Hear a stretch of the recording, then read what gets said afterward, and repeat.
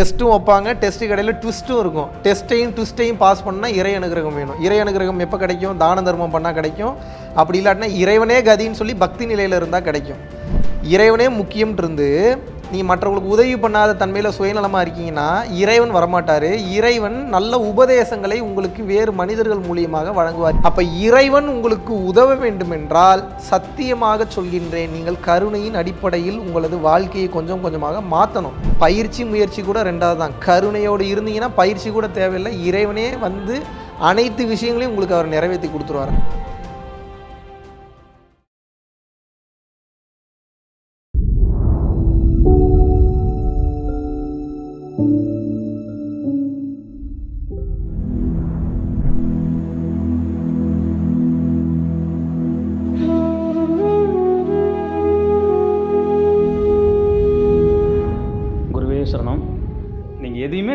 வேண்டாங்க மகாவிஷ்ணு கொடுக்குற இந்த பயிற்சி அந்த செயலை மட்டும் செய்யுங்க. அத்தனை விஷயங்கள் உள்ள அடங்கி இருக்குது மகாவிஷ்ணு மகாவிஷ்ணு மகாவிஷ்ணு. அந்த அந்த வார்த்தையை வந்து எத்தனை முறை சொன்னாலும் சலிக்கவே சலிக்காது. அவ்வளோ ஒரு ஒரு அற்புதமான ஒரு ஞானி. அவர் சொல்லுவார் என்னை மகாவிஷ்ணு அப்படின்னு மட்டும் கூப்பிடுங்க. குருஜின்னு கூப்பிடாதீங்க அப்படின்பாரு அது அவரோட தன்மை. ஆனால் அதுக்கோசரம் டக்குன்னு இறங்கி கூட்டுறோம் கூப்பிட முடியாது. வாய் வரமாட்டேங்குது. ஏன்னா எனக்கு தெரியும். என்ன மாதிரி ஒரு ஒரு மட சாம்பிராணிகளுக்கும் கூட ஒரு ஞானம் அப்படிங்கிற ஒரு பாதையை வந்து கொடுத்து இன்றைக்கி போய் பல பேர்த்து முன்னிலையில் பேசும்போது பார்த்திங்கன்னா என்னை வித்தியாசமாக பார்க்குறாங்க. சூப்பராக பேசுகிறீங்க உங்கள்கிட்ட பேசினா எனக்கு ரொம்ப சந்தோஷமாக இருக்குது இன்னும் கொஞ்ச நேரம் பேசலான்ட்டு இருக்கு.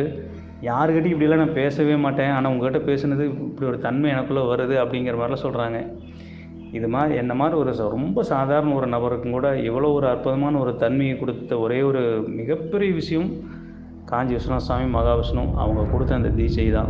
குருவே சரணம். அனைவருக்கும் வணக்கம். மகான்களும் யோகிகளும் சித்தர்களும் ஏன் மீண்டும் பிறப்பதில்லை? அதற்குண்டான காரணம் என்ன? அப்படின்னு சொல்லிட்டு ஒரு கேள்வி. அதற்குண்டான காரணம் என்ன அப்படின்னா அவங்களுடைய சிந்தனை மொத்தமும் இறைவன் மீது திரும்பி விட்டது. அவங்களுடைய மொத்த சிந்தனையும் இறைவன் மீது திரும்பிவிட்ட காரணத்தினால் அவர்களுடைய நோக்கமும் அவர்களது சிந்தனையும் அவர்களது செயலும் இறைவன் இறைவன் இறைவன் இறைவனே இருபத்தி நான்கு மணி நேரமும் இருப்பதனால் அவர்களுக்கு அடுத்த பிறவி என்பது கிடையாது. ஆனால் சராசரி மனித வாழ்க்கையை வாழ்பவர்களுக்கு அப்படிப்பட்ட சிந்தனைகள் இருப்பதில்லை. அவங்க குடும்பத்தில் எண்ணம் போகுது. இதெல்லாம் உங்களுக்கு வச்ச டெஸ்ட்டு தான். அதெல்லாம் டெஸ்ட்டு எல்லாம் பாஸ் பண்ணி தான் நீங்கள் போய் ஆகணும். டெஸ்ட்டும் வைப்பாங்க டெஸ்ட் கடையில் ட்விஸ்ட்டும் இருக்கும். டெஸ்ட்டையும் ட்விஸ்ட்டையும் பாஸ் பண்ணால் இறை அனுகிரகம் வேணும். இறை அனுகிரகம் எப்போ கிடைக்கும்? தான தர்மம் பண்ணால் கிடைக்கும். அப்படி இல்லாட்டினா இறைவனே கதின்னு சொல்லி பக்தி நிலையில் இருந்தால் கிடைக்கும். நீங்கள் அப்படி பக்தி நிலையில் இருந்தும் மற்றவங்களுக்கு உதவி பண்ணாத தன்மையில் இருந்தீங்கனாலும் முழுமையான இறை அனுகிரகம் என்பது உங்களுக்கு கிடைக்காது. இறைவனே முக்கியம்ன்றிருந்து நீ மற்றவங்களுக்கு உதவி பண்ணாத தன்மையில் சுயநலமாக இருக்கீங்கன்னா இறைவன் வரமாட்டார். இறைவன் நல்ல உபதேசங்களை உங்களுக்கு வேறு மனிதர்கள் மூலியமாக வழங்குவார். ஏன்னா நீ என்னை வந்து அடையணும்னு நினைக்கிற. இருந்தாலும் உனக்கு என் மேலே அன்பு இருக்குது அது எனக்கு புரியுது. ஆனாலும் உனக்கு அந்த தகுதி பத்தாது. ஏன்னா நான் அந்த நிலையில் இருக்கேன். அந்த நிலையை நீ அடையணும் அப்படின்னா நீ இந்த தன்மையில் கருணையாக மாறு அப்படின்னு சொல்லி சில நபர்கள் மூலியமாக சில உபதேசிகள் மூலியமாக உபதேச குருவாகவோ இல்லை சூட்சம குருவாகவோ இருந்து உங்களை வந்து கைட் பண்ணுவாங்க. அதை கைட் பண்ணும்போது நீங்கள் கரெக்டாக பிடிச்சிக்கணும். கரெக்டாக பிடிச்சி இந்த ஆன்மாவை பக்குவப்படுத்தி அடுத்த நிலையை கொண்டு போகிறதுக்கு உண்டான வேலைகளில் இறங்கணும். அதை விட்டுட்டு வெறும் பக்தியில் மட்டும்தான் இருப்பேன். ஆனால் வந்து பார்த்திங்கன்னா நான் யாருக்கு உதவ மாட்டேன் நான் யாருக்கு சப்போர்ட் பண்ண மாட்டேன் நான் சுயநலமாகவே இருப்பேன்னு சொல்லி நிறைய தப்பான வேலைகளை பண்ணும்போது இறைவன் உங்களுக்கு உதவ மாட்டார். சத்தியமான உண்மை. அப்போ இறைவன் உங்களுக்கு உதவ வேண்டுமென்றால் சத்தியமாக சொல்கின்றேன். நீங்கள் கருணையின் அடிப்படையில் உங்களது வாழ்க்கையை கொஞ்சம் கொஞ்சமாக மாற்றணும் பயிற்சி பண்ணால் கூட கிடைக்காத நிலை நீங்கள் கருணை நிலையோடு இருந்தீர்கள் என்றால் உங்களுக்கு கிடைத்துவிடும். ஏன் வந்து மகான்கள் சித்தர்கள்லாம் அடுத்த ஜென்மத்துக்கு போகிறதில்ல இறைவனை அடைஞ்சிட்றாங்கன்னா அவங்களுடைய எண்ணம் முழுதும் இறைவன் மீது திரும்பி விட்டது அவங்க எப்போ நீங்கள் அவங்களோட அவங்க கையை வெட்டி அதில் இருக்கக்கூடிய ஒரு ரத்தத்தை எடுத்து அதை நீங்கள் மைக்ரோஸ்கோப்பில் பார்த்தீங்கன்னா கூட அதில் இறை துகள் தெரியும். அது அதுலேயும் இறைவன் அப்படின்ற பேர் இருக்கும். ஏன் அப்படின்னா அப்படி அவங்களோட செல் மொத்தமும் இறைவன் தான் முக்கியன்றதுல மாறிடுச்சு. ஏன்னா இப்போ உங்களுக்கு அது வராது. ஏன்னா பொருள் தான் முக்கியம் சுகம் தான் முக்கியம் நினச்சிட்டு இருக்கீங்க. ஐம்புலன்களுக்கு ஆட்பட்டு உட்பட்டு இருக்கிறனால இது பெருசாக தெரியுது. ஆனால் இது அனைத்திற்கும் காரணகர்த்தா இறைவன் தான் நினைக்கிறப்போ எந்த ஃபார்ம்லாம் இருந்தாலும் சரி இல்லைனாலும் சரி அவன் தான் முக்கியம்னு சொல்லி நீங்கள் நினச்சி வாழ ஆரம்பிச்சிருவீங்க. இன்னும் சிம்பிளாக சொல்லணும்னா இதை கூட தெ- ரொம்ப தெளிவாக அழகாக எழுதியிருந்தேன் ஒரு நாள் ஒரு வீட்டில் பூட்டி வைக்கப்பட்ட நாய் எப்படி தனது எஜமானின் வருகைக்காக காத்து ஏங்கி தவித்து கிடக்கின்றதோ இறைவனின் வருகைக்காகவும் இறைவனை சென்று சேருவதற்காகவும் ஒவ்வொரு மனிதனும் அப்படியே காத்து ஏங்கி கிடக்க வேண்டும் ஒரு நாயை போல.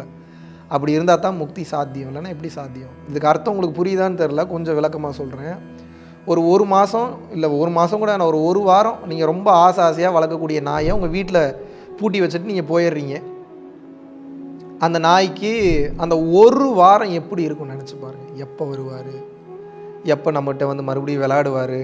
எப்போ நம்ம கூட டைம் ஸ்பெண்ட் பண்ணுவார் எப்போ நமக்கு சாப்பாடு வைப்பார் எல்லாத்துக்கும் காரணகர்த்தா அவர் தான் அவர் இல்லாமல் நான் என்ன பண்ணுவேன்னு சொல்லி அந்த நாய் அப்படி ஏங்குமா அந்த எஜமானனை பார்க்கறதுக்காக? ஒரு ஒரு வாரம் கழித்து நீங்கள் போய் அந்த டோரை திறக்கிறீங்க அப்போ அந்த நாயோட ரியாக்ஷன் எப்படி இருக்கும்? உங்கள் மேலே ஜம்ப் பண்ணும் நாக்கில் நக்கி வைக்கும் உங்கள் கூட விளையாடும் அங்கே ஓடும் இங்கே ஓடும் என்னென்னமோ பண்ணும். அதோட அன்பை ரொம்ப பெரிய லெவலில் வெளிப்படுத்தும். நம்ம அப்படியா இருக்கிறோம் இறைவன் மேலே? ஒரு நாய்க்கே ஒரு மனிதனை பார்க்கும்போது அவ்வளோ ஏக்கம் இருக்கிறது என்றால் இந்த அண்ட சராசரத்தையும் படைத்த இறைவனை அடைய வேண்டும் என்று நீங்கள் நினைக்கின்றீர்கள். இறைவனை அடைகிறதுனா என்ன? போய் அடையிறது கிடையாது. நீங்கள் இறைவனாகவே மாறுவதுக்கு பேர் தான் இறைவனை அடைவது. அப்போ அதுக்கு எவ்வளோ பக்குவம் வேணும்? எவ்வளோ பொறுமை வேணும்? எவ்வளோ தெளிவு வேணும்? அந்த நிலைக்கு நீங்கள் வருவதற்கு மிகுந்த பயிற்சியும் மிகுந்த முயற்சியும் மிகுந்த கருணையும் தேவை.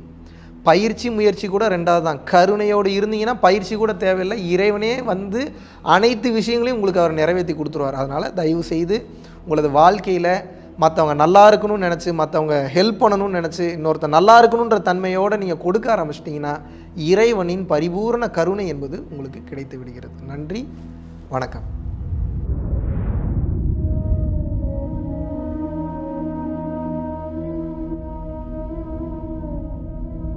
பரம்பொருளின் கருணையினால உங்களுடைய இடைவிடாத அன்னதானத்திற்கு நீங்கள் அனுப்பப்பட்ட பணத்தின் மூலியமாக பல லட்சம் உயிர்களுக்கு இது நாள் வரைக்கும் வந்து சாப்பாடு கொடுத்துருக்கோம்.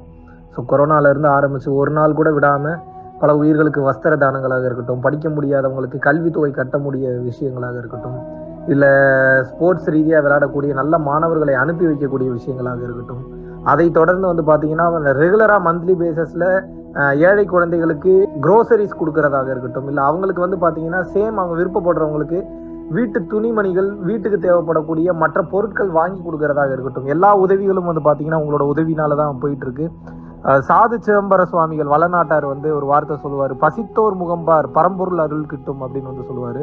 வள்ளல் பெருமானும் ஜீவகாருண்யம் உள்ள சம்சாரிகளுக்கு எப்பேற்பட்ட சூழ்நிலையிலும் வந்து பார்த்தீங்கன்னா அவங்களோட லாபம் தடைபடாது தொழில் பிரச்சனைகள் வந்து நிவர்த்தியாகும். அதை தொடர்ந்து வந்து வாழ்க்கையில குடும்ப பிரச்சனைகள் விலகும். அதுபோக குழந்தை சம்பந்தமான பிரச்சனைகள் எதுவாக இருந்தாலும் வந்து இந்த அன்னதானத்திற்காக நீங்கள் செய்யக்கூடிய ஒவ்வொரு ரூபாயும் அது வந்து உங்களுக்கு நிச்சயமாக புண்ணியமாக வந்து சேரும்.